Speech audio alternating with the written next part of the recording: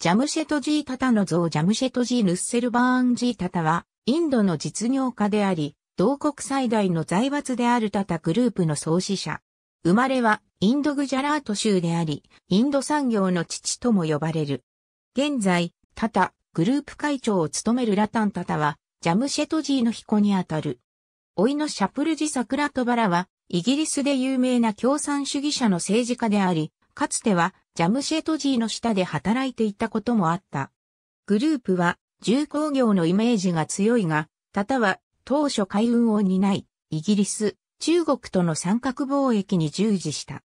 1894年、P&O の東アジア向け綿貨物運賃が高すぎることに目をつけ、その海運アライアンスに挑んだ。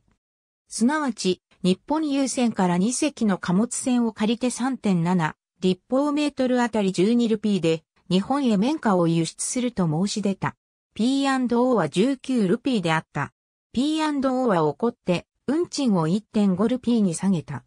しかもタタの船を使わない顧客すべてに対して綿花を無料で運ぶと申し出た。やむなくタタはインド省大臣に苦情を寄せたが、やはり聞き入れられずにそのまま海運会社を閉鎖。すぐに P&O は運賃を16ルピーに上げた。ジャンシェドジー・タタファウンダー・オブ・タタ・インダストリーズ・ハット、スリー・ソリトバラ、ザ・フィフス・コマンド・モント、バイオグラフィー・オブ・シャパージ・ソリトバラ・アーカイブド17、オーガスト2002アット・ザ・ウェイ・バック・マシン、サルフォード、ミランダ・プレス、1991チャプター3。ありがとうございます。